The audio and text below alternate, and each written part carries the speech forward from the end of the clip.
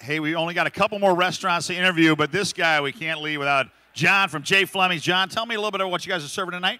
We have a little uh, jerk spice tilapia with a Caribbean green rice, uh, pineapple mango chutney, and uh, little butter sauce. A little something going on in that plate, right? Tell me about your restaurant. What's unique about it? Why should people try it? All that good stuff. All right. Um, we're at 18 North Cass, Westmont. Uh, uh, why they should try it is for the great food. Uh, get a nice outdoor patio for the summer. Um, do a lot of catering.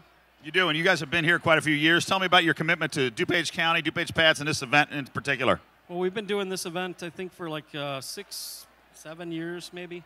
Um, it's a great, uh, it's uh, pads is a great thing. help a lot of people out, um, and we're just trying to do our part. Right, and if I came to your restaurant and I had to eat one thing, what would you serve me? God, one thing. Uh, we're known for the Cuban pork sandwich uh, for lunch, but uh, other than that, uh, lob, shrimp and lobster mac and cheese is phenomenal. Uh, I'm getting fat just thinking about it. John. Get over to Westmont, check out J. Fleming, but they're in the room tonight. Come back and see them over here. Thanks again, John. Back to you, Rosemarie.